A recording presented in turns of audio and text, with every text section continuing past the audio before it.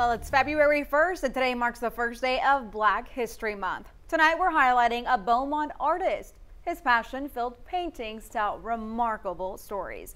Wayne Goodman found a way to honor those who came before him and those he grew up with all through his art. 12 News anchor Letitia Kay shows us how he is keeping history alive through this art. It's a long, long story.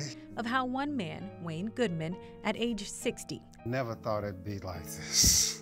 Decided to be a historian through art. I certainly deal with history quite a bit. And I deal with even personal history. weaving them both together like the material that frames his art. Mudcloth comes in this particular color, which is black and beige. Certainly it's an African print. He now has many paintings This is titled uh, Picking Cotton. that drapes the halls of galleries from the art studio in Beaumont to the Red Bud Gallery in Houston. It's still amazing, shocking, you know. And uh, it's got me just to, you know, think bigger, I guess. It all started 12 years ago with a number of little little girls in particular and we are sitting on the floor doing images and uh, i actually finished one image and the child she said uncle wayne i want you to draw an image of uh, with nothing but little girls Some of his paintings now reflect his memories growing up. I'm from the south end of town. The image is produced in the form of a newspaper headline. So this is the South End Free Press. It was certainly uh,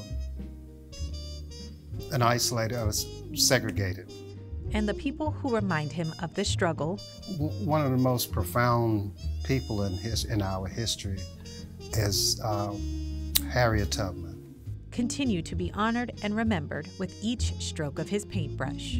One of, one of my favorite poems by Langston Hughes is uh, Winter Sweetness, and it goes like this The little house is sugar, with snow its roof is piled, and from its tiny window peeps a maple sugar child.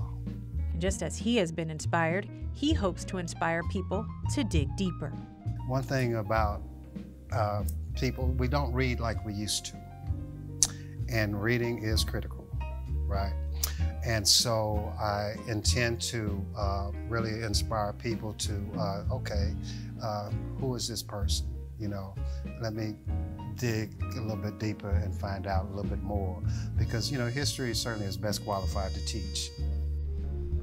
What an inspiration. Letitia Kay is sharing that story tonight. Goodman tells us his end goal is actually to write children's books, and he's already been involved uh, encouraging the next generation. He is volunteering at the Children's Museum. Now we talk about how he wants to encourage and inspire people. So the museum actually duplicates those images in black and white and then allows kiddos to color and paint them to tell their own stories. It's an very, awesome, awesome idea. Yeah, very exciting. Thank